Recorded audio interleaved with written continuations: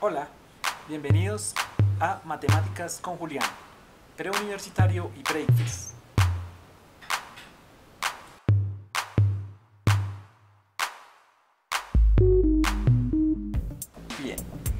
El día de hoy entonces traje un ejercicio para que ustedes eh, trabajen o recuerden, refuercen la parte de ecuaciones y sobre todo cuando una ecuación es o no es equivalente, cómo hacer eh, el reemplace, eh, cómo hacer el despeje adecuado de una, de una ecuación y encontrar su solución de las ecuaciones más sencillas. Recuerden que eh, lo primero es revisar correctamente el enunciado de un ejercicio.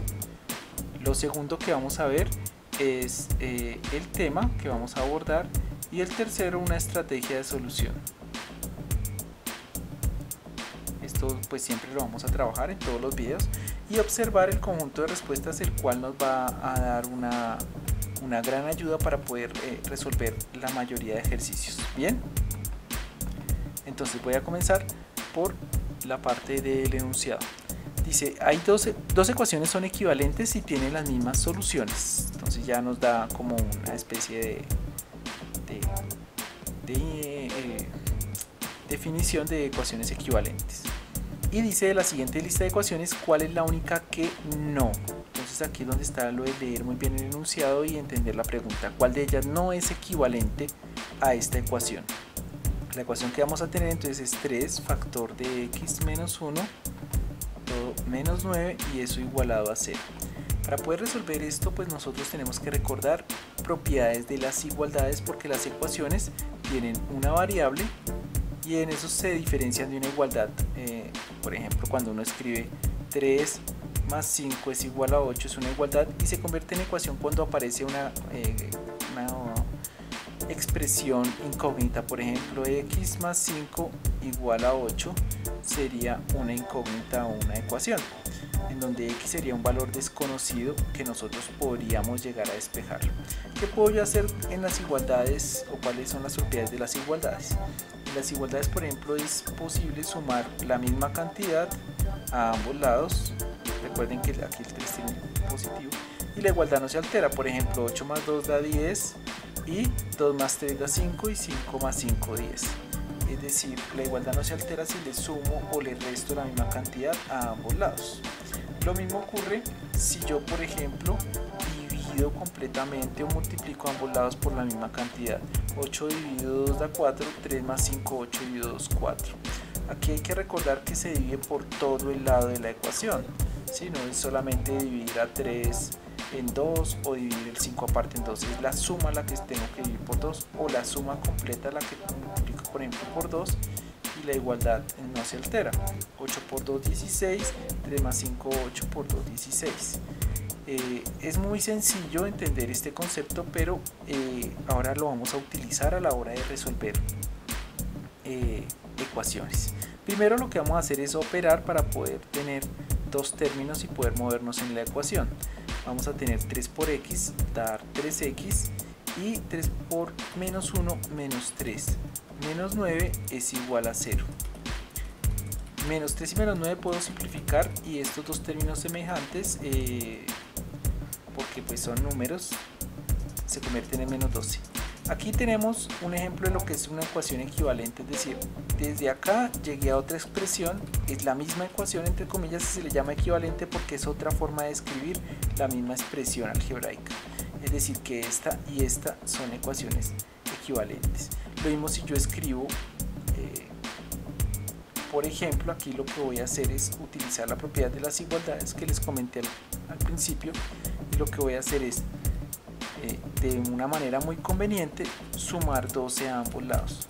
Recuerden que podemos sumar la misma cantidad a ambos lados pero pues de tal forma que obtenga el módulo de la suma que es el 0 más 12 menos 12 va a dar 0 y entonces obtenemos que 3x quedó acá es igual a 12 algunas personas dicen que el menos 12 pasa al otro lado y le llaman transposición de términos es decir el número que está con el signo pasa al otro lado de la ecuación con el signo cambiado, el signo contrario.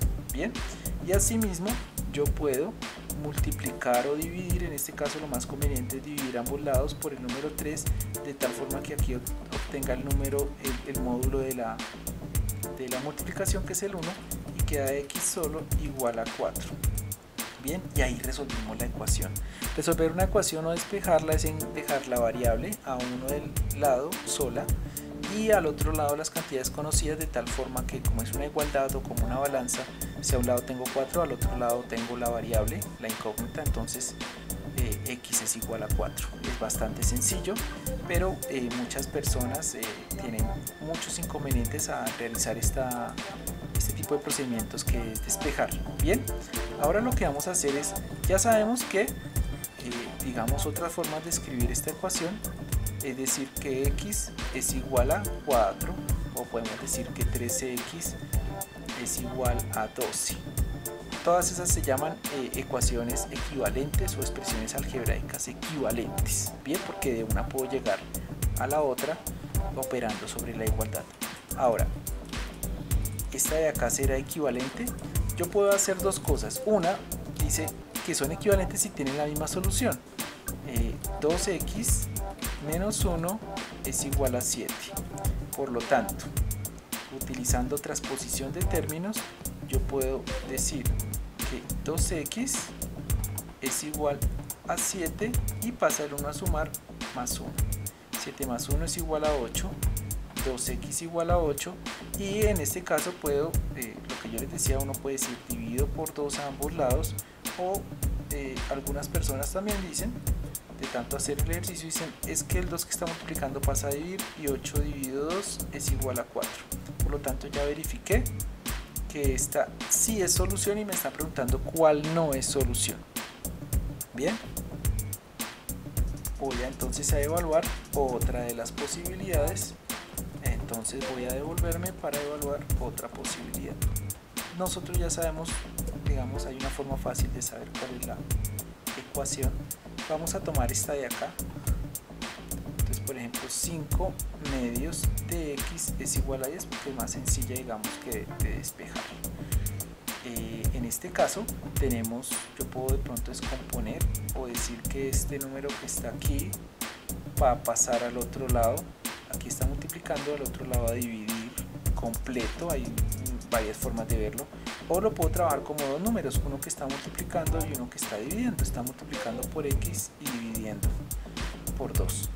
Ejemplo, si yo digo que x es igual a 10 y paso el 5 medios a dividir, divide por 5 medios. Cuando yo hago una división entre un entero y una fracción, entonces convierto ambas infracciones a un número entero, le dejo denominador 1 y hago la ley de la oreja o la ley de extremos y medios, que es la división. Y me doy cuenta que es 10 por 2, 20, 20 dividido 5 y 20 dividido 5 es igual a 4. 10 por 2 se multiplican los extremos y se multiplican las líneas de medios. Bien, ahí verificamos nuevamente. También lo pueden realizar de muchas maneras eh, posibles, pero ya identificamos que tienen exactamente la misma solución. Bien. Problemas, por ejemplo, cuando vamos a evaluar la C, se requiere de mayor habilidad. ¿Por qué? Tenemos 3 elevado a la x igual a 81 y en este caso tenemos el problema es que la x está como exponente. Eh, nosotros podemos comenzar a, a, ver porque nos están preguntando por el, eh, el exponente por el cual se eleva x para el cual eh, digamos de 81 3 por 3 9 9 por 3 27 27 por 3 81 ¿cuántas veces se multiplicó? 4 eh, veces. Entonces ahí la solución es 4 y la hallamos de una manera inductiva muy fácil utilizando la potenciación. Pero pues si nosotros queremos utilizar o hay algunas eh, operaciones que se pueden hacer cuando uno tiene una x o quiere despejarla, si está en el exponente uno aplica logaritmos, entonces para poder convertirlo en 1 yo coloco logaritmo en base 3. logaritmo en base 3 de 3 y al otro lado tengo que aplicar exactamente la misma operación. Digamos que esto sería técnicamente como se haría logaritmo en base 3. Logaritmo en base 3 de 3 es 1 y esta x por propiedad de los logaritmos cuando está exponente yo la puedo pasar a multiplicar. Entonces esto sería x logaritmo en base 3 de 3 que me está preguntando el 3 elevado a qué exponente me da 3 y eso sería 1 logaritmo en base 3 del mismo número da 1 y x 1 por x. Y aquí logaritmo en base 3 de 81 me está preguntando qué número eh, 3 elevado o, multiplicado por sí, por sí mismo cuántas veces me da 81 y el resultado es 3 por lo tanto x es igual a 3 ese sería digamos si uno se a explicarlo por propiedades eh, sin hacerlo de una manera inductiva e intuitiva. Ay no es igual a 3 es igual a 4 perdón. Ahí era igual a 4 perdón logaritmo en base 3 de 81 es igual a 4 porque me está preguntando el 3, por eso se dice en base 3, cuántas veces lo multiplico para que me dé 81 por sí mismo y el resultado es 4. Se me pasó ese pedacito. Entonces, por ende, el, el que nos queda es este de acá, que es el que no es. Y vamos a explicar de pronto por qué no es.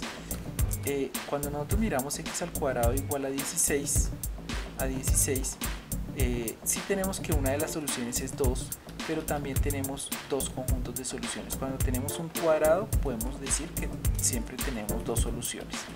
Es decir, menos 2 al cuadrado también da 16 y 2 al cuadrado, porque menos 2 multiplicado por menos 2 da, perdón, menos 4 multiplicado por menos 4 va a dar 16 y entonces tendríamos aquí la solución menos 4 y 4 positivo porque 4 por 4 va a dar 16 bien entonces tendríamos eh, que sí tiene una de las soluciones pero que también tiene dos soluciones. Bien por esta explicación entonces nosotros vimos que son eh, ecuaciones equivalentes. Revisamos cómo se despeja adecuadamente una ecuación, algunos tipos de despejes sencillos eh, para revisar. Bien, esta ha sido otra sesión de eh, solución de matemáticas con Julián. Vimos ese tipo de despeje de ecuaciones y hasta una próxima.